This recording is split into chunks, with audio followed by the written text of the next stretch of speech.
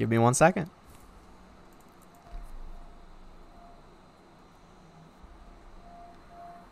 Um, Ezra, someone appears before your eyes as well by a different statue.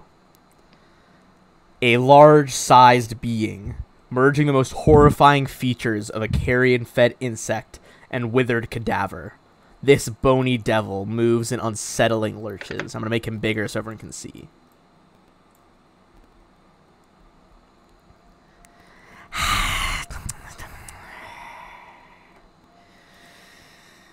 Your strength is evident.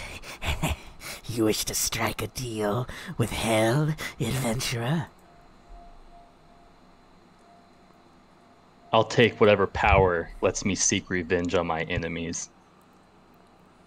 Good, good.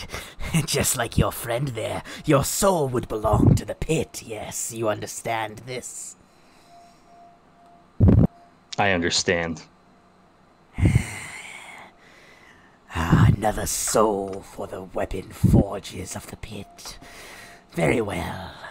We can strike a deal. All right. My powers come from the poison flowing from my sting. With this contract, you will gain the same abilities. You'll gain my stealth and my sting together. Um, mechanically, what this happened, you would be able to use once per day as a spell like ability. You would be able to use quickened invisibility. So invisibility is a swift action. And you will grow his stinger, his bone tail, out of your body, secreting secreting bone devil toxins. That's awesome. Ew. Do That's we cool. have an accord?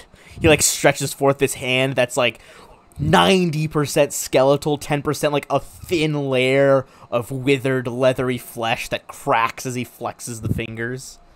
Ezra reaches his hand out, and right before he grabs it, he pulls back just a little and says, So long as there's more power to come.